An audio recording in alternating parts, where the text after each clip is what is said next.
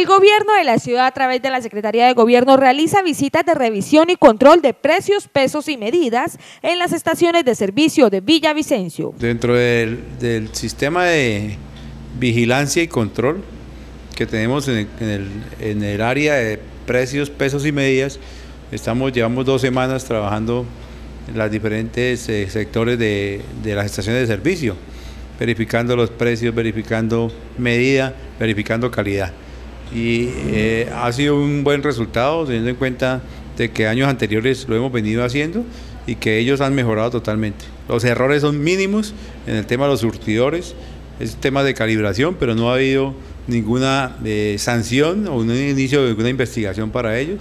Algunos que le tenemos que dar la oportunidad también para que le hagan el mantenimiento y el aseo a los tanques, pero básicamente es el tema que estamos trabajando.